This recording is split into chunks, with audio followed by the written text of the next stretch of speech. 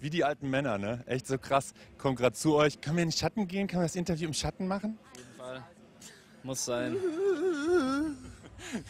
Äh, wie geht's euch? Super, also wir haben Bock, heute zu spielen, Ja. auf jeden Fall. Und Bock, dass unser Album jetzt endlich rauskommt. Das äh, läuft auch ein bisschen anders als früher, weil die Band hat sich quasi erweitert. Es gibt jetzt mehr Leute. Es gibt, äh, also abgesehen von natürlich den, den äh, Figuren, die wir sonst kennen und so, gibt es jetzt richtige Musiker noch, also außer euch. Ja, wir haben sogar die Figuren, du meinst unsere Tiere, äh, von Bord geworfen. Die müssen jetzt woanders hin schwimmen. Äh, ja, wir haben zwei äh, Musiker mit auf der Bühne, zwei weitere. Es sind äh, Philipp und Moped, einer an den Drums, einer am Keyboard. Wieso habt ihr die dazugeholt eigentlich? Man muss noch dazu sagen, Philipp war früher auch schon öfter Tier. Er ist quasi aufgestiegen in der Hierarchie vom Tier zum Musiker. Und wieso? Na, weil die Songs das einfach gebraucht haben. Weil einfach die neuen Songs auf dem Album so bandmäßig auch klingen, dass man das nicht mehr anders umsetzen kann. Und wir auch Bock drauf hatten. In, der, in, diesen, in diesen Tiertiteln habt ihr aber auch weitergemacht, das heißt jetzt Küken des Orion. Also was hat es eigentlich mit diesen Tiergeschichten immer auf sich? Wer ist da so der, der, die treibende Kraft bei euch, der immer sagt, es muss jetzt wieder ein Tiertitel sein beim Album? Jesus. Ist klar. Und danach? In der Kette? Ja, wir, wir wollten es eigentlich äh, schon beim zweiten Album vermeiden. Das zweite Album hätte eigentlich Blöre heißen sollen und hat dann doch einen anderen Titel bekommen. Und beim vierten Album wollten wir es eigentlich damit brechen, haben es aber irgendwie nicht geschafft. Möglichkeit eines Lamas auch noch und so. Aber wer ist, wer ist das von euch, der das so in allererster Linie dann immer sagt, ey komm, la- lass uns ein... Titel kommen eigentlich fast alle von ihm. Bist du so tieraffin? Nee, eigentlich nicht. Ich hasse Tiere. Schon. Ich mag nur Katzen. Aber trotzdem, wie kommst du dann ausgerechnet darauf immer? Boah, das mit dem Lama war ein Zufall und das Küken des Orion ist dadurch entstanden, dass Jakob Hobby-Astrologe ist und äh, er uns den Gürtel des Orion gezeigt hat und wir ähm, sehr betrunken waren und ihn falsch verstanden Er haben. hatte eine Vision auf jeden Fall und die ist Es Realität waren auch noch geworden. andere Dinge mit dem Spiel, die wir aber jetzt hier weiterhin nicht nennen möchten. Wie lief das ab? Erinnerst du dich an die Situation? Ja, ich habe halt rumgepostet und habe gemeint, da oben ist er. Und die so, äh, Küken des Orion, alles klar. Und das hat uns dann verfolgt einfach. Das ist Da dann, waren wir zu viert mit Bam Bam unterwegs. Das ist ein äh, Lichttechniker, der hat uns nur einmal, einmal Licht gemacht bei uns. Danach wollte er nicht mehr mit uns auf Tour gehen. Wieso nicht? Was passiert? Ne, hat sich nicht mehr ergeben. Sagst du jetzt so. Ähm, ansonsten, äh, hier Highfield Festival, habt ihr hier schon mal gespielt eigentlich? Vor zwei Jahren, Drei Jahren. drei Jahren, 2012, auf glaube ich. jeden Fall ähnlich heiß so und ja, es war vor drei Jahren und noch ohne Band und ja, wie gesagt, wir haben Bock.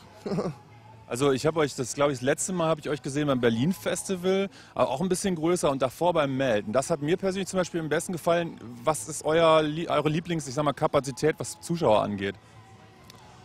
Ja, schwer zu sagen. Also wir hatten so zwei Warm-Up-Shows vor Southside Hurricane und das mögen wir schon auf jeden Fall richtig gern. So kleine intime Atmosphäre, wo man halt direkt vor den Leuten steht.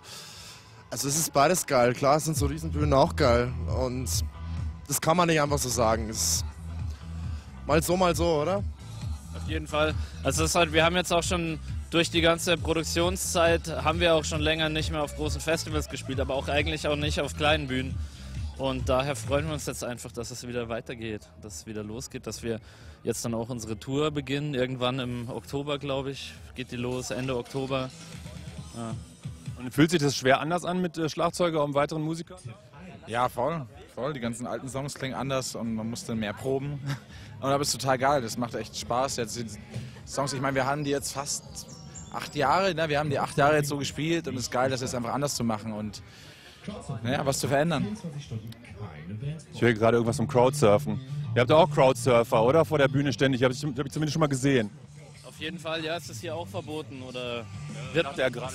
wird man vom Festival geworfen mittlerweile? Ihr werdet dann vom Festival geworfen. Ja, Okay, wir nehmen alles auf uns. Wir lassen, jetzt dürfen so viele Leute bei uns Crowdsurfen, wie sie wollen. Wir lassen uns dann stellvertretend vom Festival werfen. Aber erst nach dem Gig und zwei, drei Stunden hätten wir dann doch noch ein bisschen. Nee, egal, gleich nach dem Gig passt. Wie, wie schreibt ihr eigentlich euer, eure Platten? Macht ihr das zusammen oder kommt jeder irgendwie mit einer Idee, bringt es zusammen an irgendeinem Tag und dann guckt man, was draus wird? Oder wie funktioniert's? Äh, ganz verschieden. Ein paar Songs sind wirklich zu dritt so aus dem Moment im Studio entstanden. Ein paar Songs habe ich angeliefert, ein paar Jakob wieder und Hannes. Meistens kommt dann der Text auf die Musik drauf. Das ist ganz verschieden. Das tut dem ganzen Prozess aber auch gut so. Ja. Außer den ersten Song auf dem Album, da war ich auf dem Ketamin-Trip und da habe ich den Song geträumt, als ich im K-Hole saß und dann haben wir den nachproduziert. Das Krasse ist, äh, du eigentlich, du erzählst aber, du erzählst immer so viel von hier Selbstdestruktion, bla bla, und äh, du erzählst hier von Ketamin und dabei siehst du immer am gesündesten aus, finde ich, von allen.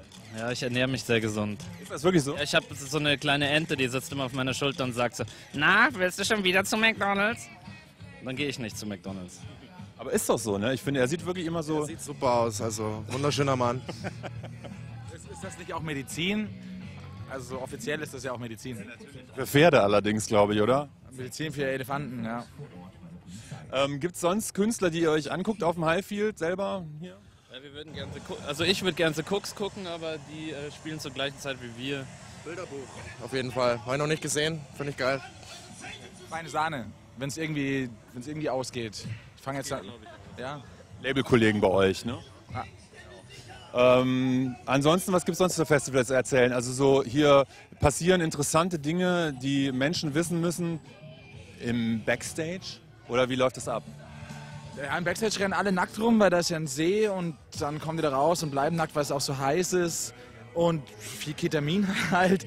Nein, es, meistens ist es eigentlich Warten. Warten, so traurig wie es klingt. Wir warten dann da und es ist. Ich lese ein paar Bücher, spiele ein bisschen Schach. So ungefähr sieht das da aus. Gegen dich selbst? Nur gegen mich selbst, ja, weil sonst verliere ich immer. Uns im Backstage gibt es auch nur kaltes Bier. Es gab im, äh, im Kühlschrank kein kaltes Wasser, nur kaltes Bier. Und warum? Die wissen, wie sie ihre Künstler in Stimmung bringen. Deswegen sind auch alle nackt da hinten, weil irgendwie muss man sich ja dann abkühlen. Es kann wild sein, es kann aber auch mega langweilig sein. Da war schon alles dabei dazwischen auch so. Und man weiß nie, was passiert. Sagen Was so. war euer wildestes Erlebnis in der Hinsicht? Könnt ihr euch erinnern? Ich kann mich hier noch erinnern, letztes Mal auf dem Highfield, das ist aber gar nicht so wild, aber es passt zum Highfield. Äh, Martin und ich wollten aus dem Backstage so einen großen Sitzsack klauen. Und ich meinte so, okay, ich gehe außen vor, vor das Backstage und du wirfst ihn über den Zaun, ich nehme ihn und bringe ihn zum Bus. Martin hat sich aber genau um 90 Grad verschätzt und hat ihn genau bei der Security auf den Tisch geworfen. So.